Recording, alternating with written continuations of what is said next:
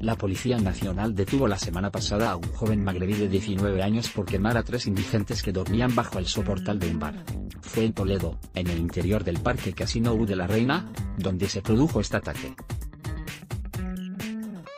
Uno de los indigentes atacados tuvo que ser hospitalizado con graves quemaduras en las piernas, mientras que los otros dos pudieron escapar de las llamas y resultaron ilesos.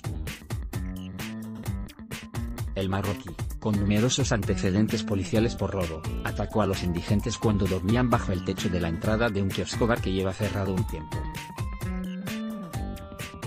En el momento de su detención afirmó que las personas a las que atacó le habían robado el móvil.